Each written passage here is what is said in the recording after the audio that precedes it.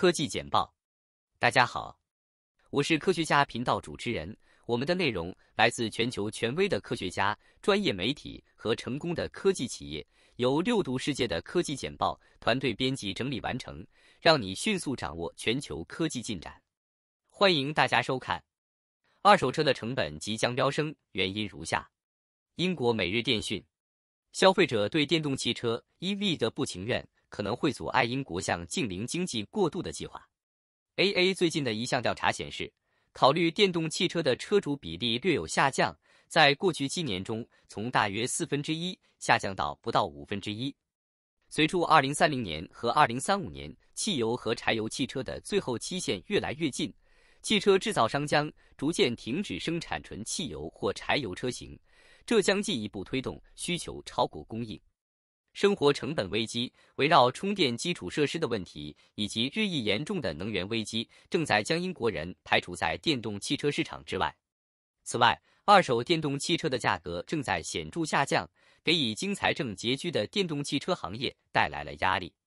与此同时，汽油和柴油价格随着通货膨胀而上涨。潜在的电动汽车购买者不清楚，随着技术进步而发生变化的当地第三方车库是否能够在电动汽车司机的汽车超出保修期后为他们的司机提供同样的服务。根据汽车工业研究所 （IMI） 分析 MOT 测试数据的数据，电动汽车目前的故障率为百分之十一点四三，而汽油车的故障率为百分之十点四五，弱点被确定为轮胎。尽管长期以来一直认为电动汽车将比汽油同行更快的维修，但 IMI 预测将短缺一万六千名准备维修电动汽车的合格机械师。二零二二年，中国向一百九十家晶圆企业提供十七点五亿美元的补贴。南华早报，根据中国媒体公司 Edgeway 编制的数据。中国去年向国内上市半导体制造商提供了超过一百二十一亿元人民币（十七点五亿美元）的补贴，以抵消美国针对中国先进晶圆制造型业的持续制裁的影响。半导体制造国际公司是主要受益者，获得十九点五亿元人民币；LED 晶圆制造商三安光电获得十点三亿元人民币；天水华天科技获得四点六七一亿元人民币。巨额补贴表明。在与美国日益激烈的技术战争中，中国企业如何从政府对半导体生产自给自足的支援中受益？计算机科学家应该需要许可证才能开发人工智慧。英国《每日电讯》：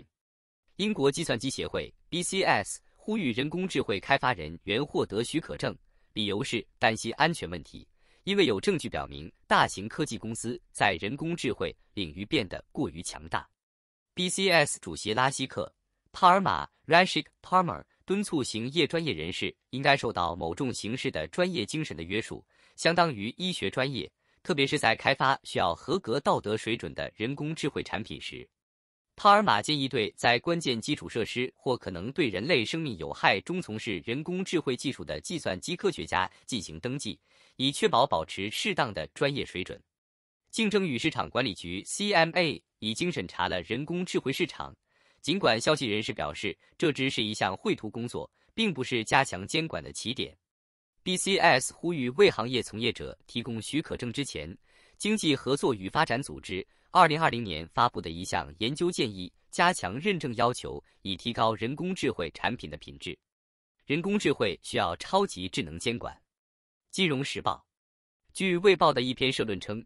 世界各国政府必须干预人工智慧的快速发展，以提醒科技行业其责任，并防止宣传和不公平歧视等滥用行为。文章认为，人工智慧在经济生产力和医疗保健等领域的重要性日益增加，这意味着监管机构面临的最大挑战将是调整现有立法，以考虑可以大规模使用的机器学习系统。该文本还建议人工智慧行业在政府不可避免地增加新法规之前，就共同的行为准则达成一致。你的工作可能不受人工智慧的影响。经济学人高盛 （Goldman Sachs） 发布了一份报告，称人工智慧 AI 的广泛采用可能导致未来十年全球国内生产总值 （GDP） 每年增加近七万亿美元。学者们预测，采用该技术的公司每年的劳动生产率将增长三个百分点。此外，开放慈善事业的汤姆·戴维森 （Tom Davidson） 的研究显示，本世纪爆炸性增长定义为全球产出每年增长百分之三十以上的可能性超过百分之十。然而，与历史一致，温和的结果可能更有可能。金融市场预计人工智慧引发的增长不会加速。根据这项研究，人工智慧行业有可能产生巨额利润。这项技术很可能会创造一小群强大的寡头，他们受益，但人工智慧也具有垄断特征，如高固定成本。金融分析师预测，少数大公司之间更有可能出现竞争。根据 Andreessen Horowitz 的风险投资团队的说法，生成人工智慧似乎并没有全系统持有，许多公司的价值超过十亿美元。尽管担心人工智慧可能会使工作变得多余。但过去的担忧已被证明是没有根据的。技术预测并没有导致广泛的失业或空心化，工作满意度指标在2010年代激增。美国劳工统计局的研究表明，近年来被新技术归类为面临风险的工作没有表现出任何明显快速失业的总体趋势。人工智慧摄像头将发现高速公路垃圾并加强罚款发放。英国《每日电讯》据《每日电讯报》报道。英国公司国家公路公司已与理事会分支 EHCS 商业服务公司合作，测试可以检测高速公路乱扔垃圾的人工智慧摄像头。最初，这些设备可以通过车牌自动处以高达一百英镑（一百三十九美元）的罚款，将被放置在该国东南部的临时位置。目前，国道没有必要的执法权利来处以罚款，因此东汉普郡议会将加强摄像头的交通管理能力。英国公路评估框架发现，该国不到百分之六十的高速公路没有垃圾。运动组织清理英国最近威胁说，如果情况没有改善，将采取法律行动。我们正在用人工智慧掷骰子，有五种可能的结果。英国每日电讯，据专家称，人工智慧 AI 的使用既是一场新的工业革命，也是对人类的生存威胁。人工智慧的进步引起了人们对可能无意。或无法预防的后果的深切恐惧，特别是在他们对政治、经济、社会和军事规范的影响方面。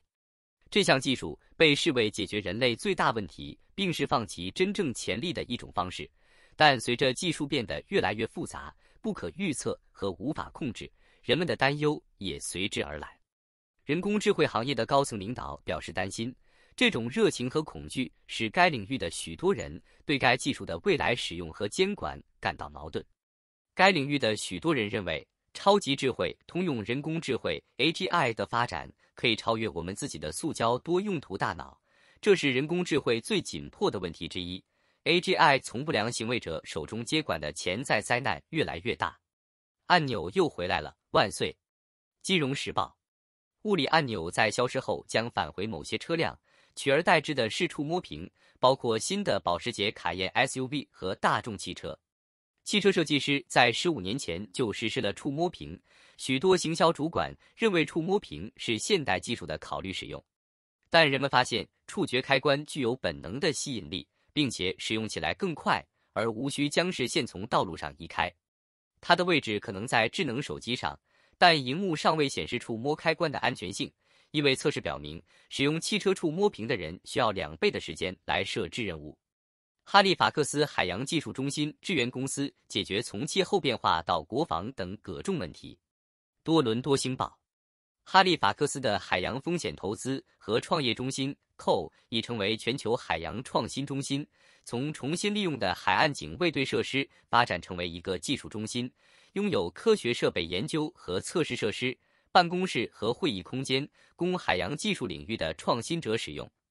加拿大创新中心现在拥有六十五家本地和国际公司，从海平面上升研究到海上能源和航运可持续性。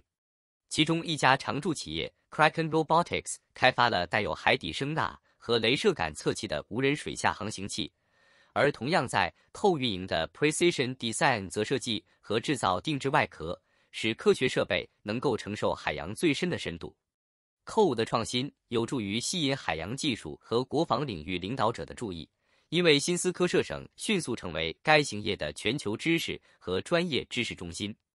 北约的北大西洋国防创新加速器计划戴安娜 （Diana） 带来了数十个新的北约工作和研究资金。该计划表示有兴趣在哈利法克斯建立一个计划。该计划将为当地公司提供资金，将所谓的民用和军用双重用途技术商业化，因为该省在海洋工程和创新方面的声誉在海外的影响力越来越大。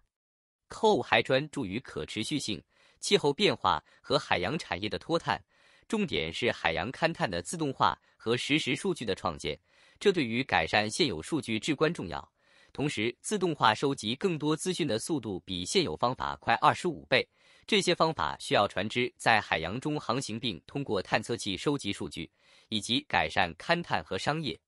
加拿大海洋创新中心认为，解决工作力供应不足的问题对该行业至关重要，并正在合作努力使该行业的海洋专业人员和技术工人多样化，并提高其保留率。科技简报：科学家的快捷工具。我们即将开放订阅，请推荐给你认识的科学家。